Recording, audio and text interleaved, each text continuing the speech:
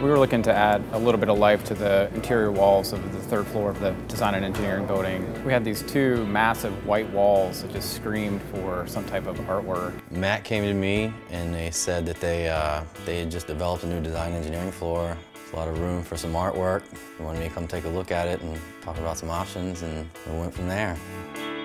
Douglas and I have been friends for a long time and I've always you know, wanted to take an opportunity to put his work in our, our office.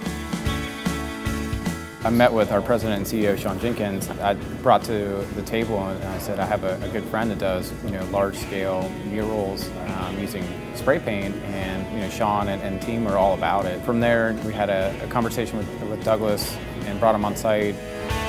When I first met with Shawn and Matt, they were both really excited about the project. They had a lot of great creative ideas. It was just a creative meeting of the minds. All right, brother. All right. Much respect to you. Thank you. You're gonna do excited. great. Appreciate it.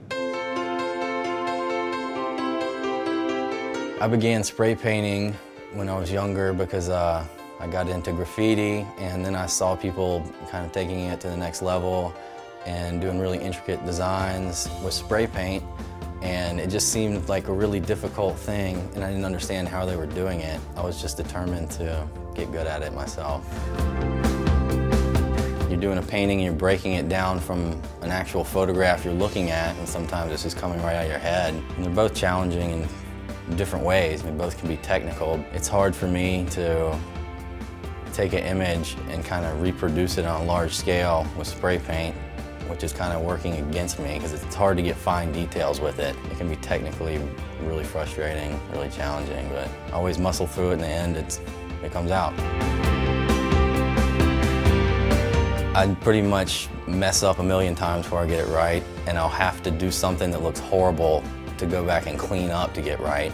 So if I want to get a clean line, I have to make a huge ugly line and go carve it down with a clean line because I'm not going to hold up a stencil or like some kind of guard out of cardboard or paper, you know, because I want it to be difficult. And kind of what excites me is the whole, the whole chess match of the thing. If I want to paint a certain thing, I have to think 10 moves ahead to how I'm going to get that image with spray paint.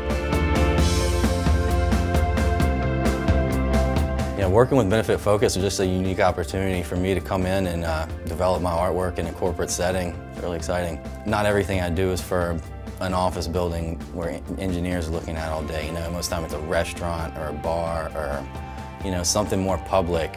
This was a really specific audience, so you know, presented different challenges.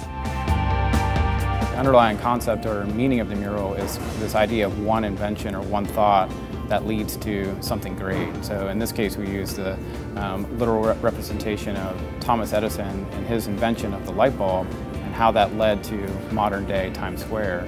And in our case, you know, the invention of enrollment has led to Benefitfocus as we know it.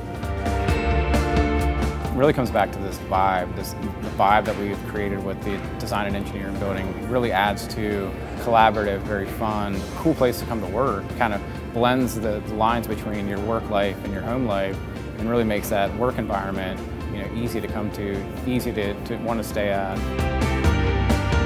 Ultimate goal for this project was to design something I'm proud of, not only, but also inspire the employees of Benefitfocus who have to look at it every day. Ultimately, like seeing that painting on the wall and, and seeing someone that good at their craft makes you want to be better at yours.